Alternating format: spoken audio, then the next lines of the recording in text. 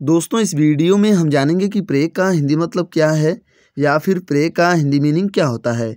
तो दोस्तों, प्रे का हिंदी मतलब होता है प्रार्थना करना, स्तुति करना, आराधना करना, विनती करना या फिर भजना।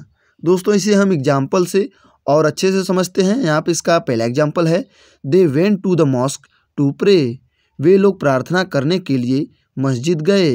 दोस्तों, यहीं पे इसका सेकेंड एग्ज़ाम्पल है we pray for deliverance from our sins we pray for deliverance from our sins हम अपने पापों से मुक्ति के लिए प्रार्थना करते हैं।